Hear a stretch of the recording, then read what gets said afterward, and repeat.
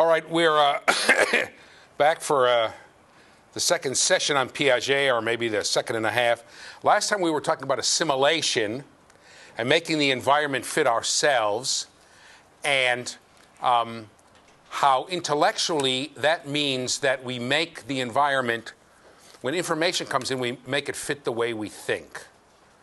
I cannot emphasize to you strongly enough how important it is to know how a child thinks before teaching a child something.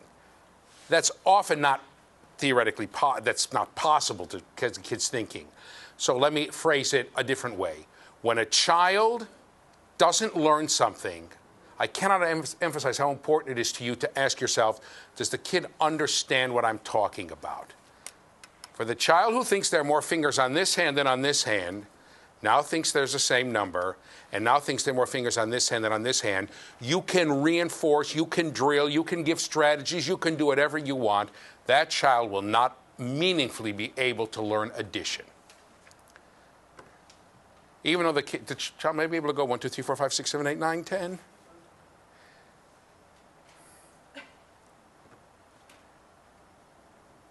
Children who are who don't really get the connection don't understand the logic of taking nonsense sounds, and building them up into real words, into pictures that make words, or pictures that stand for spoken words. Some kids just don't get the logic of it, right? That's particularly different, difficult because the logic is often not there. I remember I once read an article in Reader's Digest. What could be easier than phonics? B, e, d, bed. W, right? W, h, o, who. Huh? That works fine for bed, but it doesn't work fine for who. If h, uh, m is him, how did H, Y, M, N also get to be him? So that can be very difficult too. Exceptions to the rules can be extreme. I don't get it. How can it be?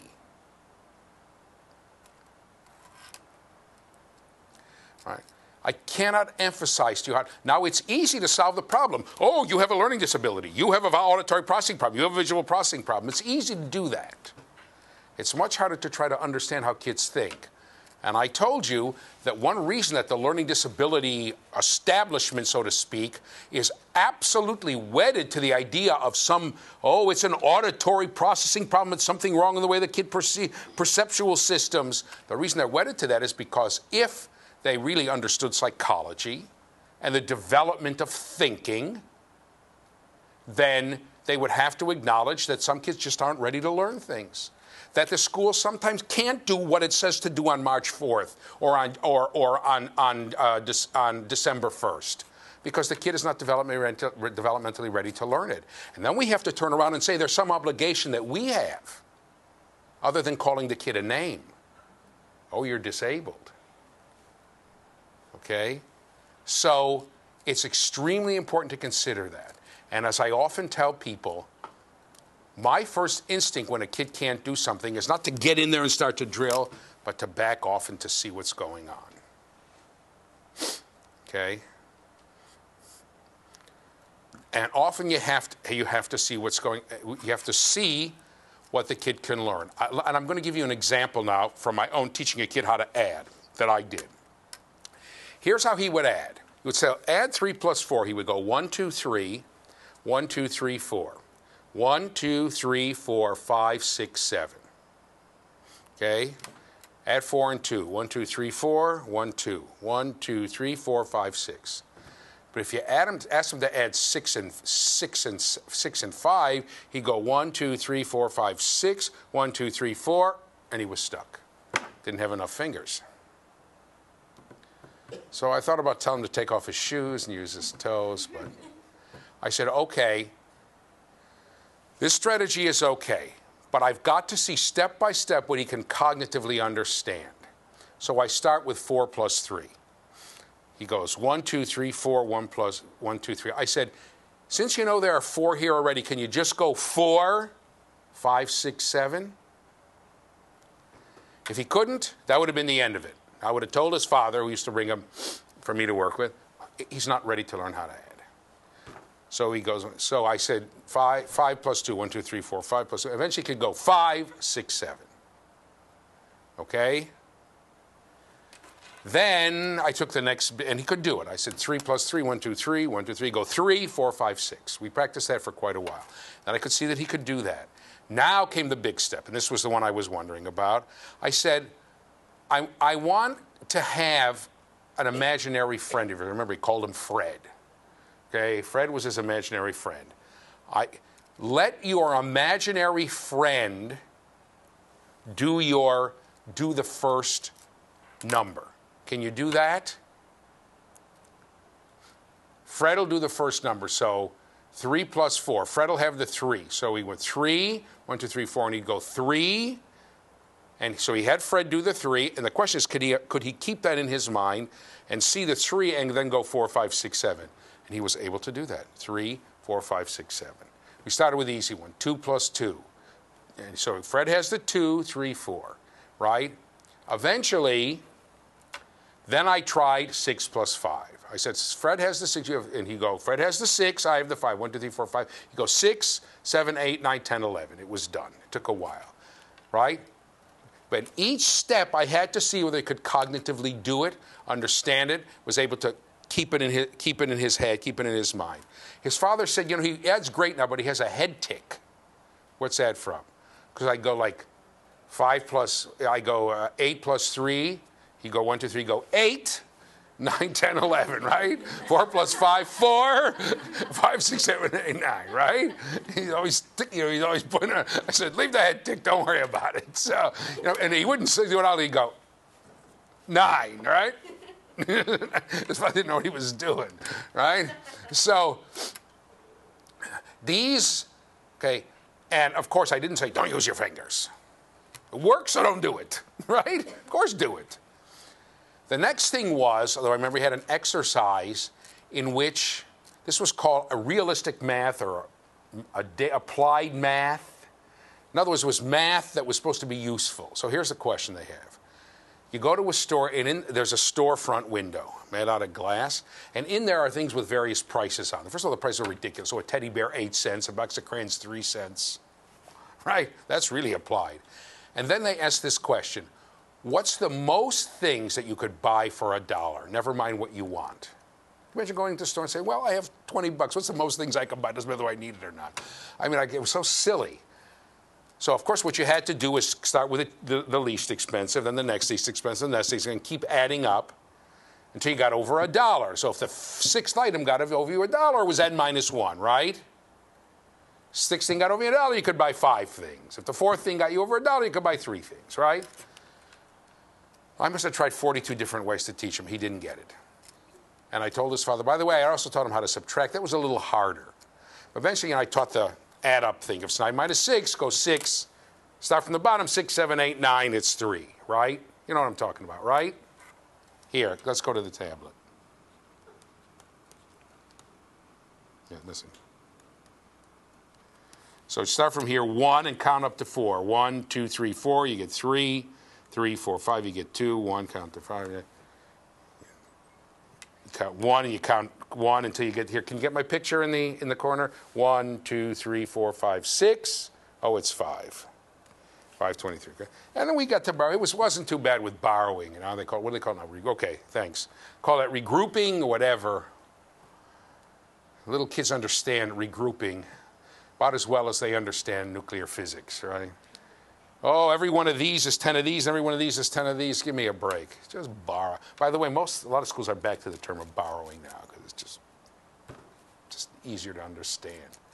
So, and you have to be careful about about that. But in the end, he just couldn't do it. I told his father he just can't do it. This problem is cognitively beyond him. And he got upset because his father thought I was a genius, right? He was in second grade already, couldn't add, and I taught him how to add finally, right? But I said, he, I just cognitively, he's incapable of doing it. I don't know what else to tell you. Did he eventually get there? I, am sure right now he must be he must be uh, in his late 20s. I guess he got there right. but you just right. Sometimes you have to be patient. And of course, the interesting thing about IQ is it has led us to believe the earlier you do something, the better. I'll, t- I'll, I'll tell you some family secrets. Yesterday I got a call from my son, right?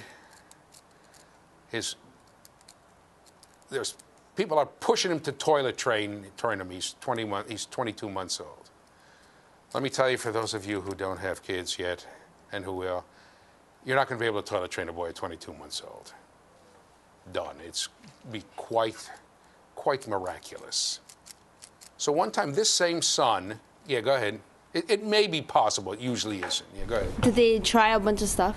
Or Say it again? Had they tried like to make it out of a game? Yeah, you can make it a game. The problem is you have to have the muscular control to be able to do it. And in general, boys, for, for reasons I don't remember, in general, the, the neuromuscular development of boys lags behind that of girls. That's one reason b- more boys than girls have lousy handwriting. The fine motor skill to write, a lot more girls have it in the first grade than boys do. They just can't do it. For instance, he, I mean, it's clear. If you tell him, hold up to, he can hold up a finger. He'll tell him, he, his speech is excellent. He speaks in five word sentences. Daddy, lie down two. That's four, right? He tells me, but son tells me. If you tell him to hold up two fingers, he can't get the second one up, right? So, yeah, you can make it, but you can't. So I remember, so this same son, my Aunt Ruth comes to visit, and he wasn't toilet trained. He was just about two. And he had made a thing out of her. He knew we wanted him to be toilet trained, so he didn't want to. She said, Oh my God, he's not toilet trained? Why? Gil, that's my cousin Gil, her son, was toilet trained at 10 months old. Believe me, he wasn't. So I said to our Aunt Ruth, I promise you by the time he's 27, he'll be toilet trained. Why is it so important, important to do it so fast? By the way, you will read someplace that kids who learn to read very early, at age three, three are ahead of their, their peers. In first grade and second grade, they're always ahead of the kids who learn to read, start to learn to read in kindergarten or in first grade. But that's only until the fifth grade, only until they're 10. After that, the difference goes away. Does anybody really care now? When you go into a job, does anybody ask you or apply to college, how old were you when you were toilet trained? Does anybody care? Does anybody say to you, how old were you when you learned to walk? Does anybody care how old you were when you learned to talk? Who cares? And I'm ready to bet that there's absolutely no connection or scientists would call correlation between one's ability to speak beautifully in public and at what age the people learn to talk. I'm ready to bet that. I mean, I can't prove it because nobody would be so silly as to waste time investigating that, right? But it's just, it's almost, it's, it's almost silly. There are some scales of ch- childhood personality uh, infant personality, newborns, and what personality they have. Are they active? Are they passive? They have absolutely zero connection to the same kids' personalities at five years old. Okay? So, I mean, what's the difference how fast it happens? Why are we so compulsive? Oh, now you got to learn how to read and write in kindergarten. Why? There's a book. Actually, I have a comment about that. Yeah, go ahead. Because I think that kids, you're, you've got a stigma that's attached to you if you don't learn at a certain rate or a certain age, and you have Right. emotional distress in school if you feel like you're different, and it doesn't make a difference to the child. So those early signs of development are and those milestones are important in targeting if there's going to be a problem. Well, here's the point. Here's the point. There's a normal range at which things happen. Once you get way outside the normal range, you begin to be suspicious. And by the way, Piagetians can identify the normal range quite well because they're taught, they have identified clearly the sequence of development of things like ability to read, ability to talk, ability to write, et cetera, et cetera. Okay? They've identified that clearly. If it gets way outside, right? I told you about the kid I found who was almost nine, eight and a half, and he was still used pre-operational reasoning completely. And I'm the one who spotted. And I said, "Hey, there's probably something neurologically wrong there, because eight and a half is already way outside for having no pre- concrete operational reasoning at all, which we'll get to."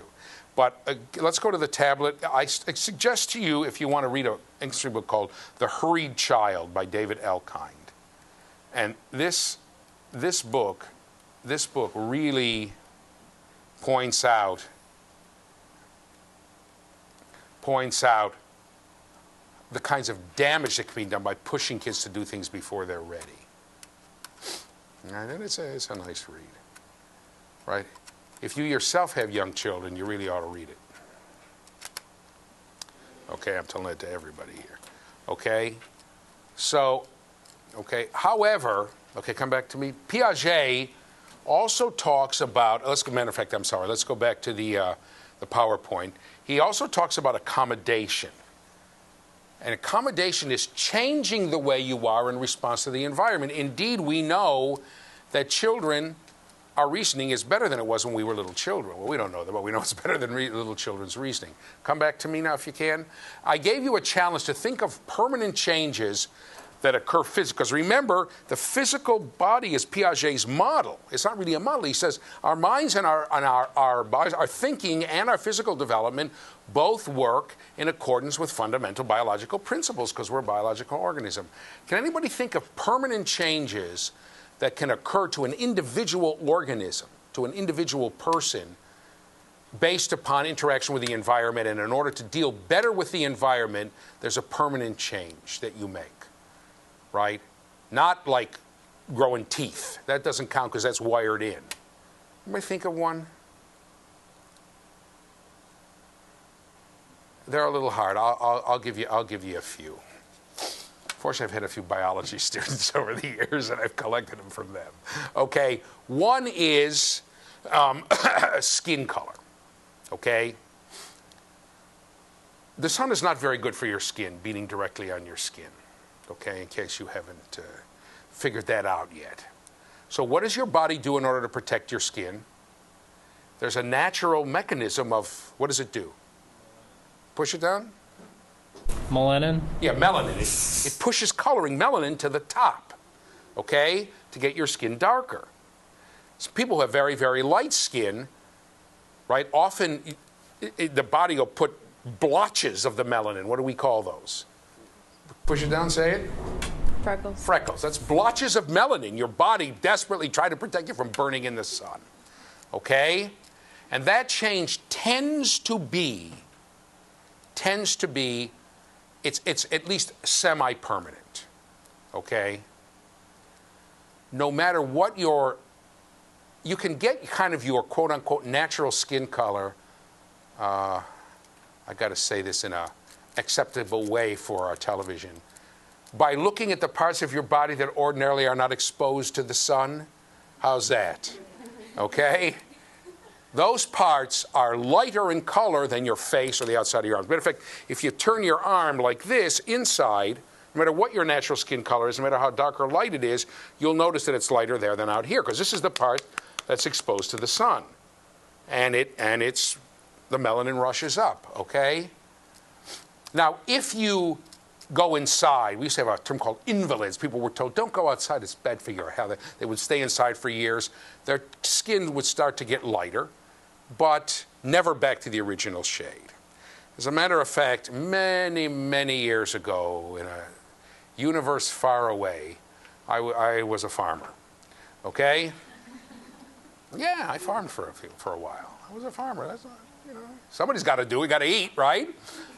So it was summer, it was hot, and I see the sun is going down, and we're working. I said, and it was hot. I said, you know, I'm going to take my shirt off. The sun just below the horizon.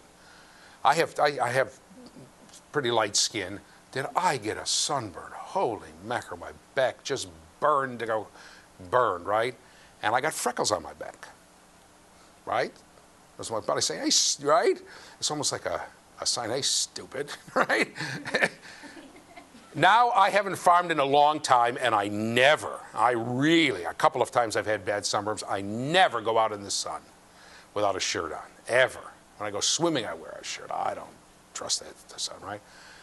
And they're, but they are still, they're light, but they're still there. The freckles are on my back. It's almost like saying, my body's saying, you know, this guy might pull that stupid trick again.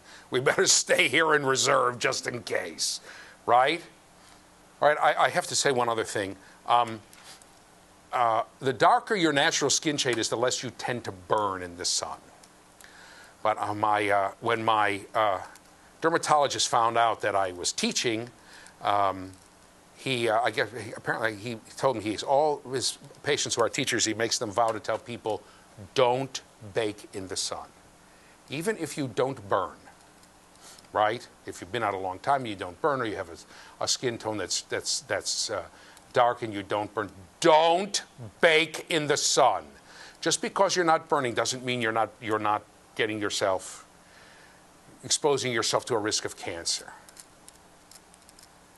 He said, You don't know how many patients I've had with dark, dark skin who are, he said, one of them was a physicist from India. And he's got dark skin and he's full of skin cancers because he loves to go and sit out in the sun. I said to one of you, got a doctorate? You're that? You don't no, that's a bake in the sun. Don't bake in the sun. Okay, that's enough of that. Stay out of it, okay? So that's one. Another one is, has anybody ever tried to run through the airport in Denver? and there's no air up there. One day I went to, I went to the, my wife and I went on vacation. The hills above Denver were about, I think, 10,000 feet in the air, way just up, up, up, up, up. the Coors Brewery is another couple of thousand feet up. And we kept going up from there. And one day we opened up a suitcase. Oh, we were running out of toothpaste. Somebody said, "See up that hill." There's a little general store you can go get it. It's such a really small town, such that they don't even have a gas station. We start to go up the hill. About halfway up, I thought I was going to die. You know, we're walking slowly. Uh-huh. Says to my wife, maybe we could just brush our teeth without toothpaste. Right? We finally got there. There's just no air up there. I mean, it's. A but if you live up there long enough, and, right, you're you're taking in air and you're pushing.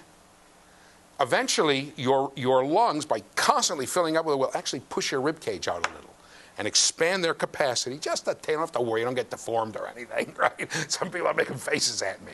But you'll actually have a greater lung capacity that's permanent, right? Now, you'll notice in both cases, I'll tell you one other that's really an important one your immune system. Okay? Anybody here ever had the measles? Or the mumps? All right, I had them both. That's giving away your age. Now they have shots against them, right? Measles is a bad disease, by the way. Okay, you can really get sick from the measles. I really got sick. Or there's still people who die from the measles. You get sick. Matter of fact, when I got the measles, the doctor came and it was a famous thing to help you with viral infections called gamma globulin. There used to be polio, polio outbreaks. People would go and get shots of gamma globulin. It tended to make any cases of, of uh, viral infections that you got less severe. They, the doctor looked at me and said, boy, if your other kid gets measles this bad, you're going to be in trouble. So they gave my brother, pumped my brother full of gamma globulin and threw him in my bedroom and he got a light case of the measles, right? You get the measles. I really was sick. I was a little kid and I still remember hallucinating and dreaming and I couldn't stand sound and I get hot and then I get cold and light would bother me. It was really bad. Matter of fact, the if fever doesn't break, my mother told me that doctor my fever didn't break by day, you know, within a day or two, they were going to take me to the hospital by the end of that day. In the end, it did. Okay? It's bad. But now my, my immune system, which was fighting off this viral infection, right, has reorganized, and I'll never get the measles again. It's a permanent reorganization of my immune system. That's what vaccines do. They try to fool your body into thinking that you're, you have the disease and there's a permanent reorganization. Now, some of them are not as permanent as we thought. For instance, they used to think that, for instance, the smallpox vaccination actually gives you, gives you cowpox. And then you, but the reorganization of your immune system also fights out smallpox. They used to think it was permanent. It turns out it's not that permanent. You have to get revaccinated over the years. But in the end, um, certain ones are, like for the measles, is permanent. And in each one of these cases of the reorganization, you're better off than you were before. You've lost nothing and gained something. So, for instance, when your skin gets darker, right, by being exposed to the sun, which you shouldn't do very much at all, we already went through that, right? Um, you're still, you're fine. You, you, there, you've lost, you're doing just as well in, uh, in, inside and much better out in the sun. When, your when your rib cage expands, you do just as well breathing down here at sea level where we are in Houston and much better breathing way up in high ele elevations. I do just as well in a measles free environment and much better in a measles infested environment, i.e., I don't get the measles. Okay? That's the nature of a true accommodation. You do better. Okay? You lose nothing and you gain something. And often, okay, cognitively what you you're, you're even you're you're able to understand so what happens is that you don't lose any of your old understandings that are good ones but you gain new understandings okay cognitively. So what Piaget says here, let's go back to the PowerPoint. When you have an accommodation, what happens mentally is what I described physically. Mentally, you reorganize your thinking, okay, about time, about space, about causality. You change your underlying structure pre operational, concrete operational, concrete operational, formal operational. You change the rules you have for thinking and reasoning in response to new information. It's a qualitative change in thinking and reasoning. That's what an advancing to a newer, higher stage means. Now, you no longer make judgments about age. See if you can get my picture in the corner. Based upon height. You make judgments about age based upon other information, namely date of birth or relationships. This one's that one's father, so whoever the father is has to be older. Okay? What happens is that in response to the environment, to things that come in from the environment, okay, the person constructs a new mental structure, a new stage or a new scheme. A scheme is a substage. Okay? So, for instance, Piaget would say, I talked about changes in the respiratory scheme when it came to the lungs, a change in my immune system scheme when it came to having measles, right? So he's saying what Piaget would say, what we call subsystems, he would call schemes, right? You have a, remember we talked about an organized whole and subsystems? So again, it's the same with you talk about organization first, the things you need to know about accommodation. Talk about accommodation first, the things you need to know about organization, about the stages. But so in other words, he would say just as we had an organism up here, and the organism has, he would say the organism has a neuromuscular scheme and a respiratory scheme and a this scheme and a visual scheme, an auditory scheme. I don't know. That's I don't know if he would use those terms biologically, but that's what he's talking about. So there's a change in the way the person thinks about quantity, and now says it doesn't matter how you move your fingers. It's the same number because you didn't add any, you didn't take any away. Yeah, it's the same now. Now it's still the same because you could put these back and you'd see they were the same. Okay, it gives you a logical reason. It's the reasoning that counts. Okay? The person understands the world differently, and this new understanding is better. You lose nothing and you gain something. You're able to reason better. You're able to adapt to the world better. Okay? Clearly, Okay? We clearly people we have people we have people who use pre, adults who use pre-operational reasoning. What do we call them? No, not politicians. Stop saying that, okay? So what do we call them? What do we call an adult who reasons like a 6-year-old? Say it again? Mentally retarded? Yeah, I don't know what the political term is today, but that's that's those are that's the Piagetian's definition of retarded. You're thinking at a lower level, not how many answers you get right on this test. You're aware that there are people who get unretarded. They drill and drill and drill for the IQ test, and their IQs go from 66 to 71, and now you can't call them retarded. But for Piaget, it is how you think, right? That's their definition.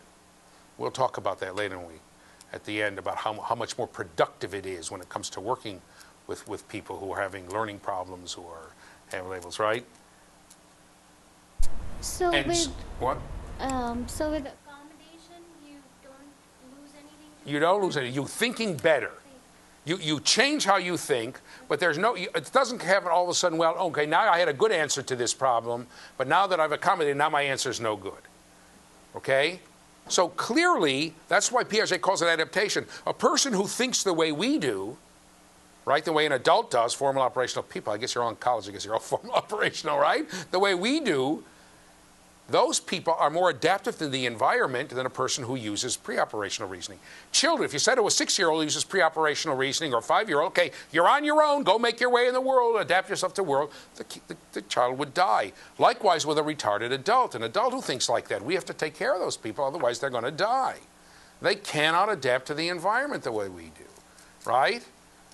They can't figure out what needs to be done to function and to live. We can, right? You can balance your checkbook, you can pay the rent, you can go to college, hope to make a little money when you get out, etc., etc. So that's why Piaget calls these adaptations. Let's go adaptation. Let's go back to the PowerPoint. Okay. Well, accommodation is one aspect of adaptation. It means being adapted to your environment. Okay. So what Piaget is going to tell you, there are two ways to adapt to the environment or there are two ways that are in uh, two aspects to our intellect. There are two aspects to intelligence and how we adapt, adapt intelligence. One is assimilation, learning more. So intelligence has two components, learning more and understanding better. It's not just learning more. And if your whole approach to teaching has to do with learning more, you're missing half the boat. Your job as a teacher is not only to teach kids stuff, it's to have them understand better. And when kids don't know something, you have to ask yourself is it because the kid, when the kid can't learn something, doesn't know something? Or is it because the kid, the kid doesn't understand what you're talking about? Okay, come back to me for a second. Okay, I'll give you an example of the first one assimilation, right? I have two children. Here are my two children. Tell me your names again. Rebecca? Rebecca and Shiva, right? I'll tell you later how I remember your name. okay? I use an information processing trick. Okay, Rebecca and Shiva. Okay, they're both illiterate. Okay, raise your hands. Let the people turn turn to the camera. Let the crowd see you. Okay, there you are. Okay, Rebecca and Shiva. They're both illiterate. Okay, don't panic. It's first grade. Okay. Rebecca comes from a house where people have read to her. She's seen people reading. She asks somebody a question, an adult a question, a mother or father or another adult in the house, and the adult says, You know what? I really don't know. Let me go look in a book and I'll get the information for you. Shiva has never seen reading. She's never seen anybody reading. So when I say, Okay, I'm going to teach you how to read, Rebecca says, Oh, he's going to teach me how to play that game. Shiva said, what? What's he talking about? I don't know what he's talking about. Doesn't mean anything. That's a lack of knowledge on her part. She just doesn't know what reading is. She's way, right? And I'm going to have to explain to her there are things, you look in books, you can read, etc., etc. But understanding of reading also makes a difference. I have to tell you, I almost got a master's degree in reading. That's a big secret. Don't tell anybody, right? And I, my professor said, but he knew that I was wandering over into this Piagetian stuff was, was, was what happened. And he said to me, so he was interested in me, so he said, I got to tell you what happened. He said, I was in with a bunch of three-year-olds in a nursery, and I was asking the kids about reading. So I said to the kids, how does, how does reading work to one kid? So he said, well, the teacher opens a book and the book talks to her. He said, you mean she, it, you mean like regular talk? He said, yeah. The book says stuff to her and then she says it to us. She says, so she hears it, right? He said, yeah. He said, well, why can't you open it and it talks to you? He said, no, no, no. He said, the books only talk to teachers. He said, only teachers can hear books. I can't hear the book. So he says to the kid, oh, he said, so whenever the teacher opens the book, if she opens the book, the book will talk to her. He said, Oh, no, no, no. He said, When I said, The book only talks by the piano. so, by the piano. So, so he said he went to ask the teacher what happened. She said, Well, there were chairs. She would play the piano for the kids, and the kids would sing and the kids would sit in chairs and back of the pen. When she would read to them, she'd have the kids push back the chairs, and she would turn around and sit with her back to the piano, and they'd sit in front of her and read. So she'd say, reading time, and they'd all run and push the chairs back, and she would sit down by the piano. So he, so he, but he, before that, he had asked the, the kid, he said, so the, if can the teacher sit at her desk and the book will talk to her and she can read? He said, no, can't read by the desk. Book, oh, she can only read by the piano. It's the only place the book will talk to her. Now imagine starting phonics with that kid.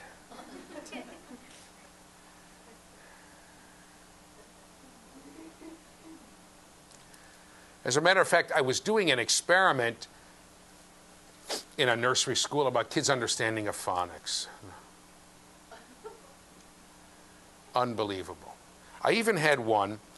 The experiment involved telling kids what the word was, what a word was. This word is this, this word is this, this word is this, and then telling the kids, okay, and then seeing if they could remember which that it was. Like this word started, like the word cat starts with a, a with a. This word is cat, and then seeing if they could understand that a C made a k, right?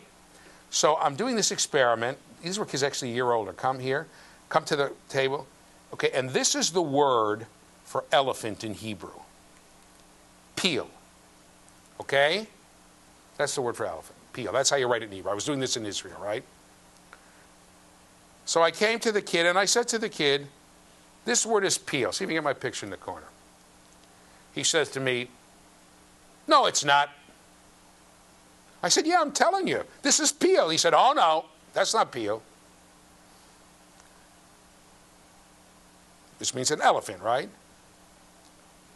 I said, Yes, it is. Believe me, this word is peel. He said, No, no, no. Finally, my PhD professor's you know, voice goes off me. I said, Why, how, why not? Why can't it be says, That's not big enough to be an elephant, right? Only three letters? See, this is big enough, right? This is big enough to be an elephant. That is a lot of letters. But this is not. He refused. An elephant has to be big. Okay? So this is this kid's understanding. Come back to me for a second. There, there are, uh, uh, there are people here. I take, I changed my mind. Let's go to the tablet. There are people called Ferreiro and Teberosky who wrote a book called Literacy Before Schooling. Before schooling. Sorry, before schooling. And they examined it. They did it in Spanish, but later it's been done in, in English. They come back to me now. They did a they did a book in which they talked about kids' understanding of language. So, for instance, most one, people who teach reading will tell you it is very difficult for children to remember small words is, so, in, and. It's much harder for them to read those than firemen or policemen, right? They do policeman, fireman, you know, tractor. They do it look by word recognition. Those are tough. They say, well, because they confuse them is and as and so and in and ah, they're all. That's not why. It's because most kids will think, young, young children, when they start to read, two letters is not enough stuff to make a word. You've got to have at least three letters. And if something as big as an elephant, you need more than three. Notice that we're three and we're more, right? That's why it's so difficult for them. Not only that, kids will believe kids will believe that there are right kids will come to understand there's a developmental sequence in their acceptance of what can be represented by a word so for instance first they'll agree that nouns can be represented by words like you can have a picture of a, of a toad or make a word that says toad okay here I, i'll show you can anybody draw who can draw a toad for me okay come here and draw a toad on the tablet Okay? We're going to have a toad. Ferron Teberosky showed, I don't know what that, here, make a toad on there. Here we go. Here's the toad. Okay? Hey, not bad.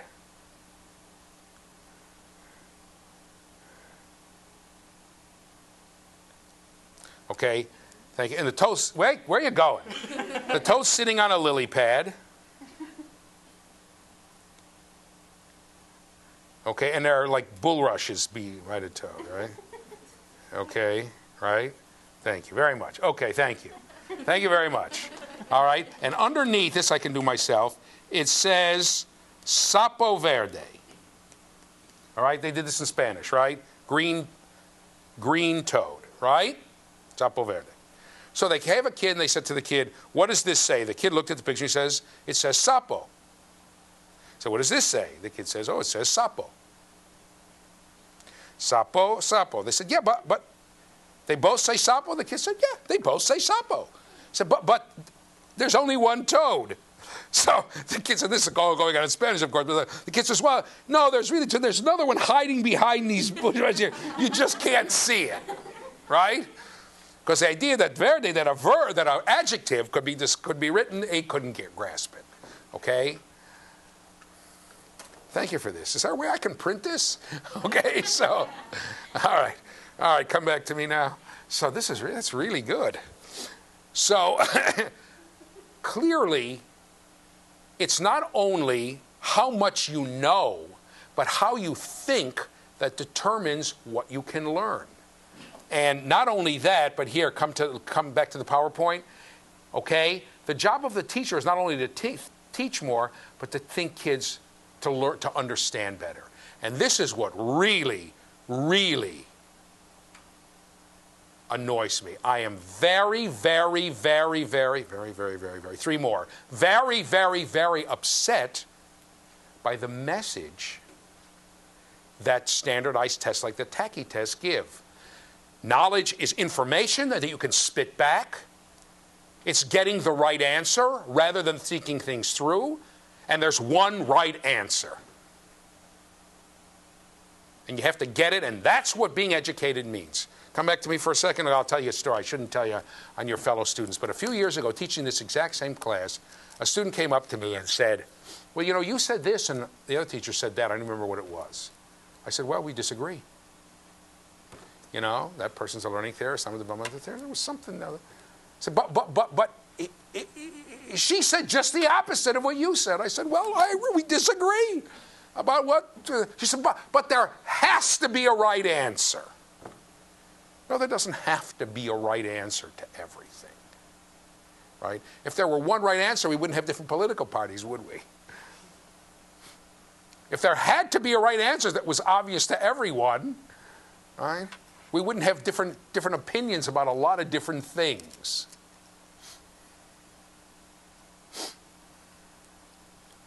Okay?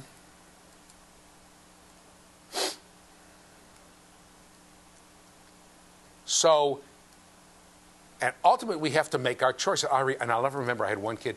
Listen, I used to be a history teacher, so my examples, most of them are from history, or a lot of them are.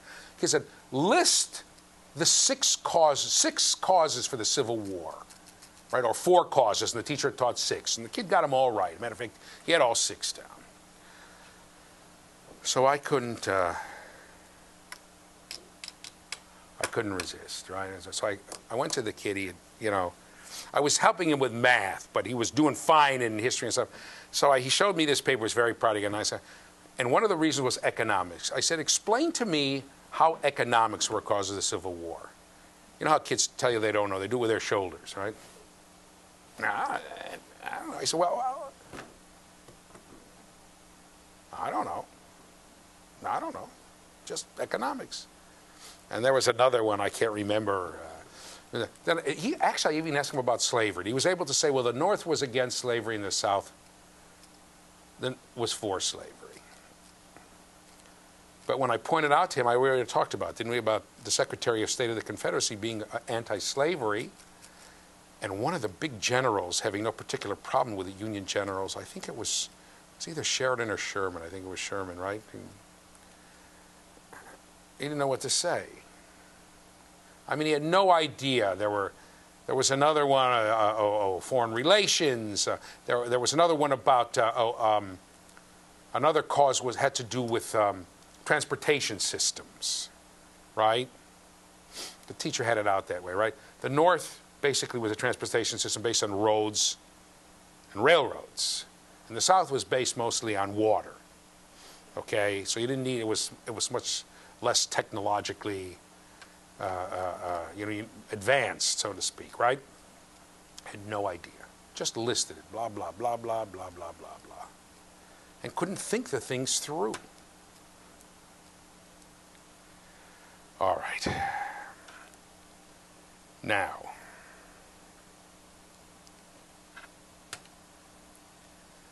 we're going to need to talk now about what it is, in fact, that Piaget says causes accommodations what causes changes in cause us to change the way what we think. Okay, here, let's go back to the PowerPoint. Piaget says these are the four mechanisms of accommodation, right? These are the four mechanisms that cause accommodation. Remember, accommodation is one of the ways we adapt to the environment by thinking better. One way is assimilation. We adapt to the environment by making the environment fit how we are, and we also adapt by making ourselves fit the environment when the way we are can't handle what the environment gives us. Okay, so physical environment, social interaction, maturation, equilibration. That's it. You got it? On to the next topic. I'm just kidding. I'm just kidding. There they are. Okay? The first way, there you can see them. The first way that Piaget says we accommodate, that our reasoning changes, is interaction with the physical environment. Okay? Here we go. Or interaction with the physical environment or problem solving. It's with the physical environment, the things around us. For pre-operational children, this includes hands-on activity, not sitting and saying, 2 plus 2 is 4, 2 plus 2 is 4, the way the DISTAR program does it, right, or others. Drill, drill, drill, drill. No, it's actually working with things in the environment. I don't know who said this. It's a common quote. Everybody says it. Play is a child's work. Must have been somebody who said, I don't know who it is. If anybody knows, let me know so I can credit it properly. Play is a child's work. And most of you have noticed, right? If you if you come back, if if you never mind, stay here. Okay, that's fine. If you if you have ever watched an infant, the question of how do I motivate a child is a ridiculous one. Okay? My my grandson who at the time this was filmed, right, a few months ago was, time it was filmed was 18 months old. He's coming. Here he comes, right? He's coming to visit. Baby broke the house. Here he comes. Take all the stuff in the bottom and put it on the top. Don't worry, he found things to break anyway. All the glass goes up here. The picture's all on the top shelf. Takes, oh, this is nice. Throw it. See it. What's going on? What's happening? Kids are constantly playing, looking into things. Oh, stick the key into the into the uh, you know into the wall outlet. See what happens. Ooh, that was fun, right? Oh, throw this. See what happens. Ooh, I remember when I was a little kid. I took my shirt and I went like this. I still remember. I wanted to see what would happen if I cut like this. Well, I got a bigger hole than if I just cut like this, right? Just made a little. I mean, it was just so much fun and do this. And they're always exploring and looking. People are internally motivated. That's the nature of a human being to want to adapt to the environment, to interact with it, and find out what's going on. All right, let's go back to the PowerPoint again. I'm sorry for this mess. Okay, for concrete and formal operational individuals, this can include hands on but also minds on activities. For Piagetians, the nature of education is giving kids problems to solve. If you go to a Piagetian school, at the time I'm discussing this, we have a very Piagetian approach to the, uh, to the lab school on campus. If you go there, you will see that they're always giving kids problems to solve, problems to solve, problems to solve. They'll suspend a pendulum, you know, from a pendulum, they'll suspend a beanbag from the ceiling, and then have, uh, uh, you know, plastic uh, bowling pins, and ask the kid, how do you knock down all 10 at once with one swing of the pendulum? How do you put them? How do you get them to fall down? By the way, it's not so easy. The first way I put it up didn't work too well, right? How do you do this? How do you do that? There are no rules, preset rules, in most Piagetian classrooms. Not even in a kindergarten. Right? You're off, you're told, set the rules, tell the kids what they are, and then you can go, right? Here's the rule, right? If you don't do your homework, when you sit down, I pull the lever and the electric chair goes off and you say, it is not true that just because you set the rules you can do whatever. The rule is I will publicly humiliate you if you don't do your homework. That's not a good rule. You cannot say, as long as the kid knows what the rules are, they're fine. That's just not true. You can have lousy rules too. But in Piagetian schools, there are no rules until you need one. So if you have little kids, believe me, somebody's going to bite. Okay? Got to sit down now. What do we do about biting? You have a discussion. How do you bite? And you can do this with three year olds and four year olds. Is it good to bite? Is it bad to bite? Biting hurts. We should. In the end, obviously, you're directing it a little.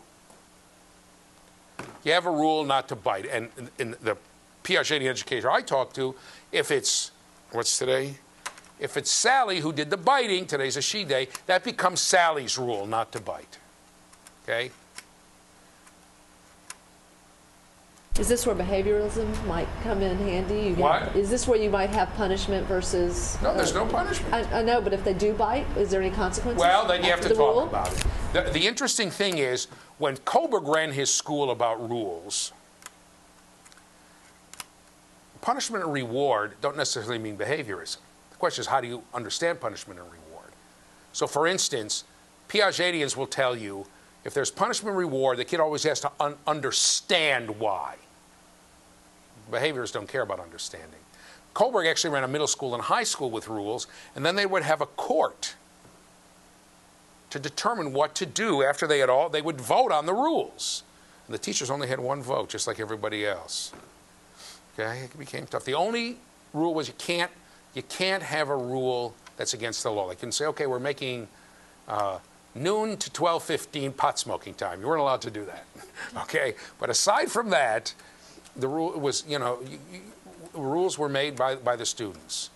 Okay? And was to solve problems. And if a problem came up you came and solved with a new rule or often, if something happened, right, you broke a rule and the person came and said, hey, look, I broke the rule. It was for a good reason. You have to get together and decide whether to change the rules. Right? Does the rule make sense? And then they would have courts and talk about what would happen in a court. We'll get to that when we talk about Kohlberg. But it comes from the internal, right? It's, it's internal, it's, it's indigenous to the process of education and of interacting together as people. Not, I'm the teacher, you do what I say. Why? Because I said so. Now, obviously, this becomes greater and greater possibility as the kids get older and older. Okay? So, for instance, you don't really decide in kindergarten what paint you're going to bring in. The kids can't figure it out, right? And you obviously can't decide how to order the room so it's safe. Kids can't figure it out. You're going to have to do it yourself. But in the end, and, and, every, and everything's a problem. So, for instance, if you go to most places, you'll see the kids, and you want the kids to sit in a circle, the kid's name is on the floor, right? In a, on a little, on something, right? And the kid has, like, there's, I don't know, a sheet of paper with his name on the floor, and the kid goes, sits with his name on the floor not in Piagetian schools, not in the lab school here, the teacher has like a placard with a kid's name on it. Okay? And throws them around the circle at random every time. Right? You never know where your name's going to wind up. So the problem is for you to go and find your name. And those kids can all read their names. As a matter of fact, I was there visiting once. And one kid is there, and he looks at his name, and he go, and he looks, he finds his name, and he points to another kid. He says, he could read the other kid's name. The other kid's name was next to his, right? Come on, right? So they both sat down together, right? And they sat down, all right? So you'd say, well, now the kid didn't have to find the name himself, but this kid had obviously learned how to read his friend's name. He wanted his friend to sit next to him. So it's problem solving, problem solving, problem solving. And in the end, that is really the nature of creativity. The nature of creativity is having a problem and solving it. Right? Artists don't learn skills and put them together. Artists have something they want to do. You even read in the literature some of the great problems that were in art. How do you show three dimensions on a two dimensional surface? Once they figured that out, how do you paint reflections? Oh, that was a tough one. How do you paint water that's not moving? you will notice that you will find in Western art almost no pictures of water that's still. You'll see waves, but still water was a very, very difficult problem. The French Impressionists finally more or less figured it out, but it was tough. Okay? And they talked about these. These are problems. How do you do it? How do we get to represent it? Ultimately, people began to say, I need to represent something beyond the reality of what I see. I want to represent emotions, etc. So, if you've ever seen Guernica, anybody know about Guernica? Guernica was the first time that civilians were bombed from the air during the Spanish um, Civil War. Okay? The, the fascist governments who were supporting the fascist side in uh, Germany and Italy um, sent planes to bomb Guernica, where the, the anti fascist forces were holed up. Okay? And they bombed the city, and a lot of civilians died. And Picasso did this magnificent thing. Of, there's a, particularly when he did it was a, of the horse's eyes. It was done like in, in murals or in sections. There's a horse that's obviously not a realistic portrayal of a horse with its eyes bulging out. I mean, you can see the panic. If anybody ever seen Munch scream, M-U-N-C-H, he screamed this face with a, you can see the fear or the panic or the something in there. It's not a realistic painting, but the emotion of the scream comes out. It's horrifying, right? So it just it's overwhelming. By the way, the original, I believe, was stolen, disappeared, but there are there are lithographs of it. It's just it's it's and some good reproductions. It's just unbelievable. So that was a problem. How do you convey emotions beyond reality? I mean, you can read the artist talking about it. Art is problem solving. Problem solving. One time, well, never mind. I'll tell you that a different time. Okay? So, okay, so it's, it's solving problems in the environment. However, there's something else. Let's go back to the PowerPoint called social interaction. We, we change the way we think not only by our own interacting with the environment, but also by interacting with the thinking of others. This is actually called social transmission by Piaget. Okay, I call it social interaction because social transmission, or by the Piagetians, it does not refer to passing on cultural norms or community values. Rather, it refers to developing one's reasoning by listening to the, the more developed reasoning of others. Your answer doesn't make sense. I'll tell you why my answer is better. And kids do that all the time. They're interacting with others. Okay? What do you think about that? Hmm, maybe. Okay? Therefore, people, there are people who will tell you, often people who misunderstand Piaget and think they have some, some uh, uh, uh, a religious mission to push Vygotsky, they will often tell you, you remember how important for Vygotsky it was to interact with peers, right? We talked about that already, I believe, didn't we? Okay, good. Uh, I'm getting old, I don't remember anything, okay?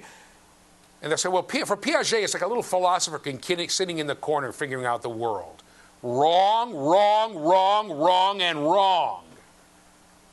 Come back to me for a second if you can. For Piaget, interaction with others is crucial. Social interactions are crucial. That's why rules are made by talking together. Kids should play together and have the opportunity to talk together, even when, even when they don't uh, necessarily are not able to communicate with each other.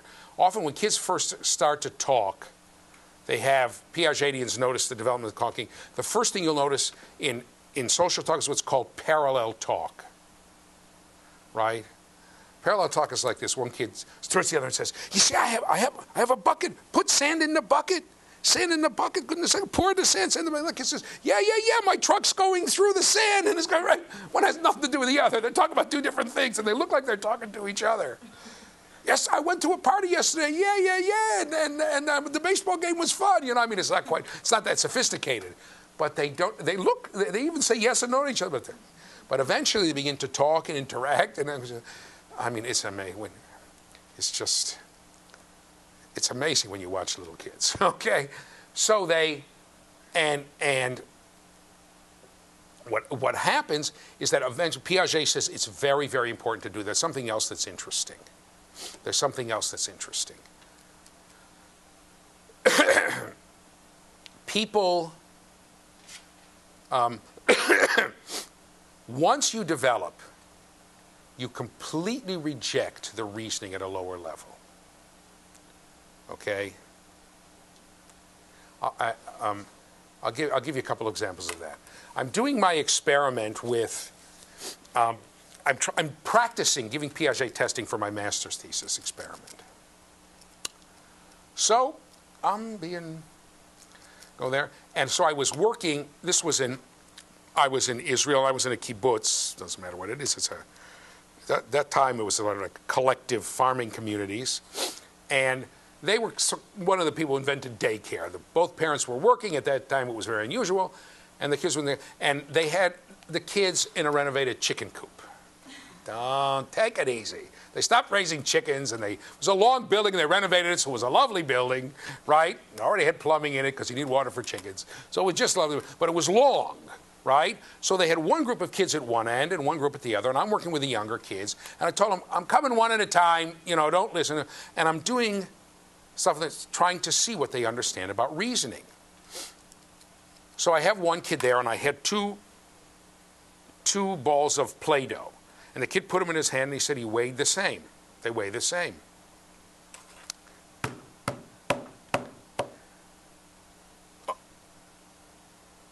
Wait a minute. No, and then I took one and I poked a hole in it with my finger, right?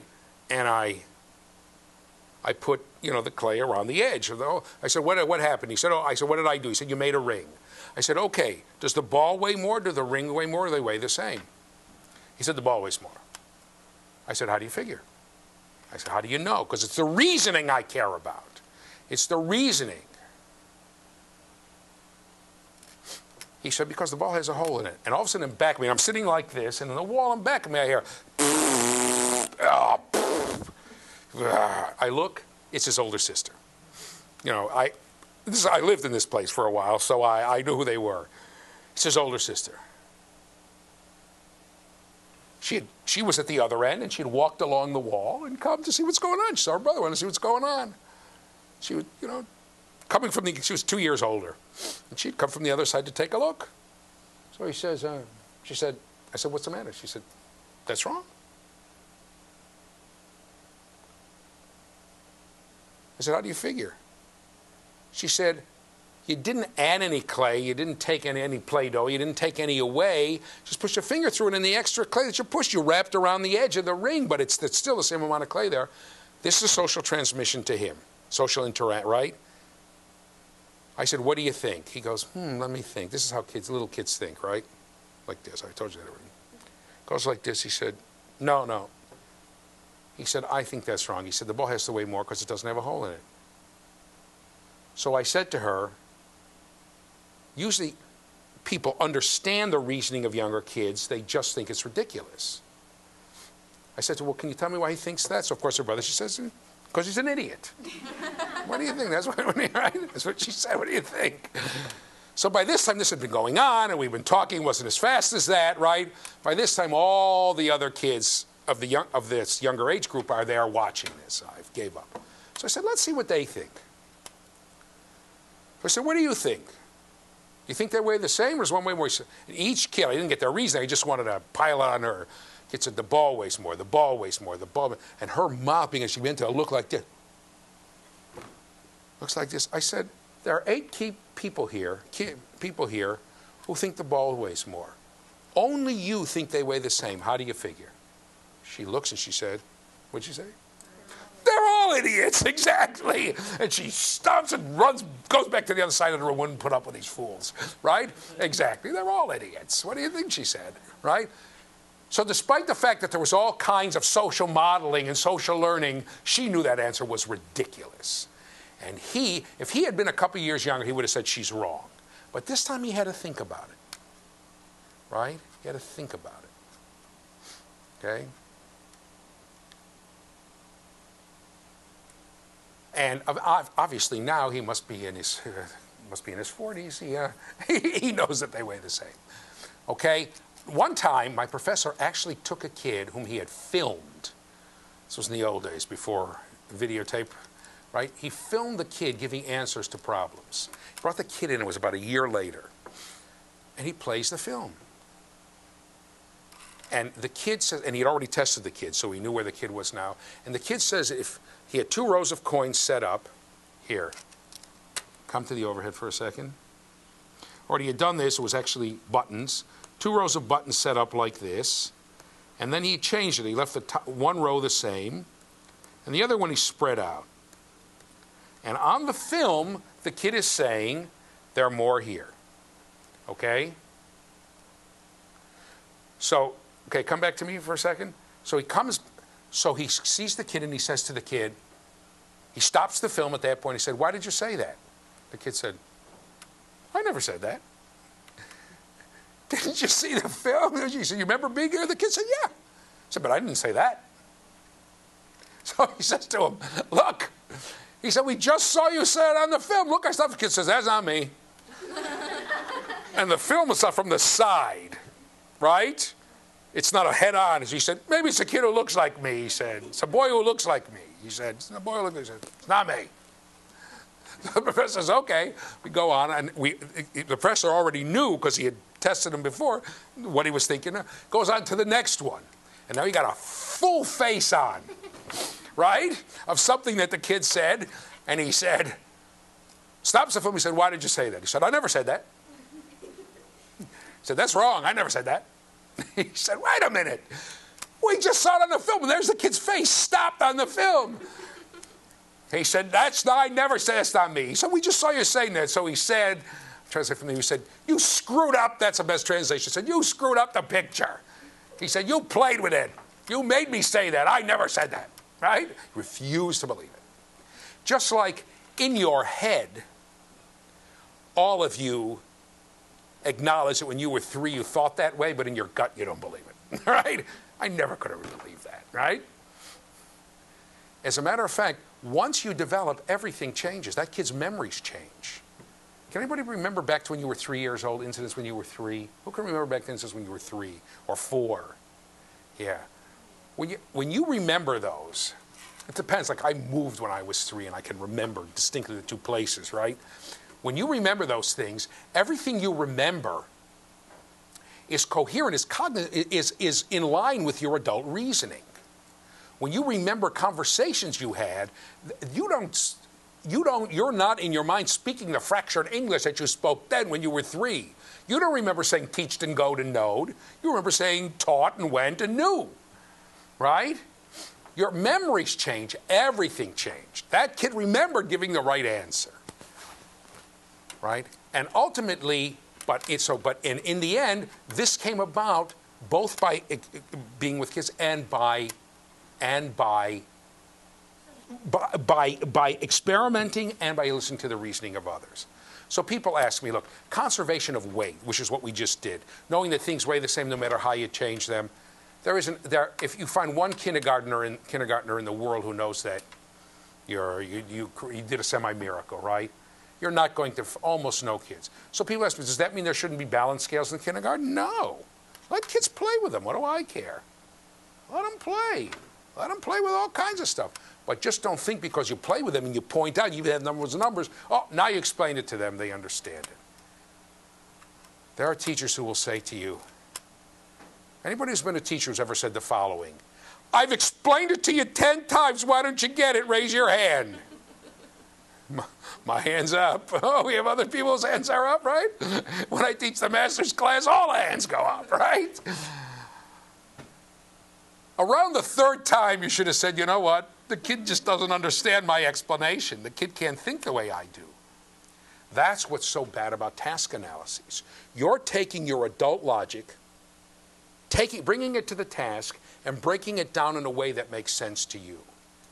But that doesn't, may not make sense to the kid. It doesn't make sense that a three letter word can be an elephant. By the way, if you're ever going to teach little kids about money, they cannot get the idea that a dime is more than a nickel. How am I right? Yeah, look at all the people who work with little kids going, yeah. How can that be? It's bigger, it has to be more. They can't get it. Yeah, go ahead. You got stories you can tell me. I love them. Another thing is, my daughter thought that, that the stores, when you paid, they gave you change back. There was more change coming oh, back. yeah. Oh man, I gave him one bill, one five dollar bill. I get back three three bills and a bunch of you know, and two quarters and this and that, right? Shel Silverstein, who I think where the where the sidewalk ends goes from one dollar to two quarters to three nickels to four pennies. Wow, did I do great, right? It keeps making trades. You ought to. It's right. Kids cannot cannot get the idea that when you get all that stuff back, it's less, right? they so it's that's how they're thinking and reasoning, and it's by interacting with these situations that they do. So play games, do it, but don't expect them all of, all at once to be able to to handle. Yeah, I wanted to finish this today, but we'll see what happens. Let's go to we let's go to maturation of the brain next. I know it's not in order. Look, here's what you have to understand. Piaget's theory. Come back to me. See this look on my face? It's not a maturational theory. Maturation means it's biologically in there. Okay? Puberty is maturational. As long, all the environment has to do is keep the organism from dying, the human from dying, gonna reach puberty. You can't do exercises. Oh, I'm gonna, all the girls go like this. Oh, then they'll grow breasts, right? I mean, it's, it just doesn't work like that. It's just innate.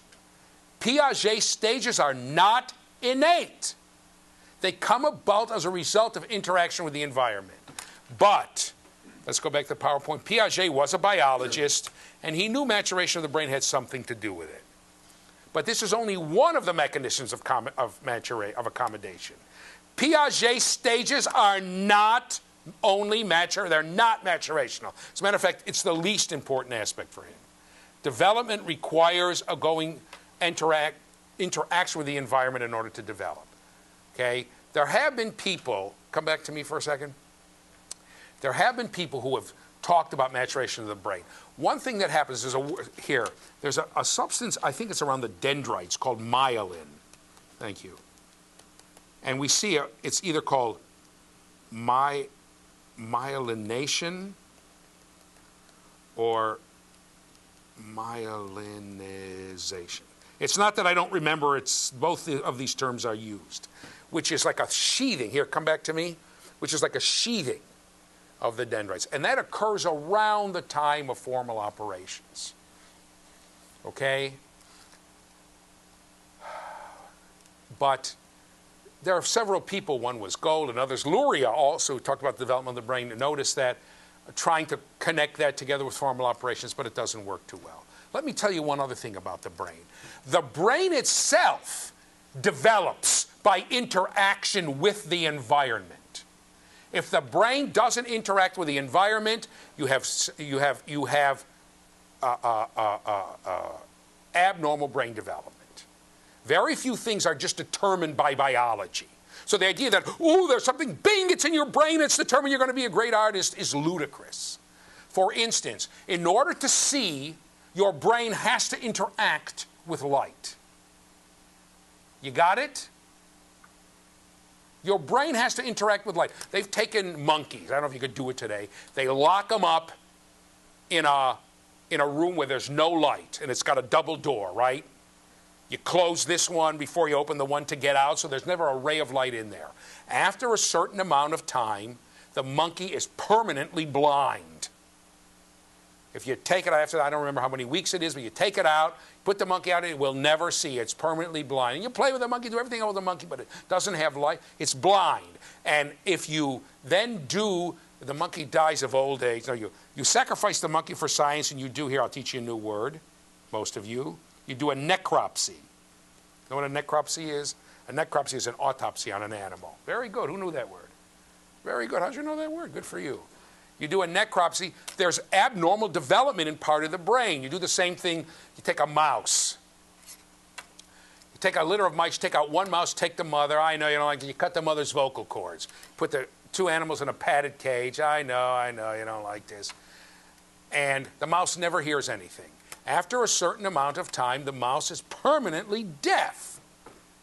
Even if you begin to play rock and roll music for it or whatever, it's deaf. And when you, and, bringing, it's too late after that to bring sound to the mouse. And if you do uh, a necropsy, that there's a permanent mis, uh, uh, abnormality of brain development. So maturation is not the key. As a matter of fact, Piaget, a woman once said to Piaget, Mr. Piaget, my infant school children, she was from England, kindergarten kids, can do what you say requires formal operations. So rather than arguing with her that she was just looking at answers and not looking at reasoning, all he said to her was, That may very well be, madam. All I'm saying is they went through all the other stages first. So he really downplayed the role of maturation. We have one more me- mechanism um, which, which we're going to have to do next time. And then we'll go into the stages, mechanism of equilibration. Then we'll go into the stages, and then we'll, we'll move on from there. Okay, I'll see you next time.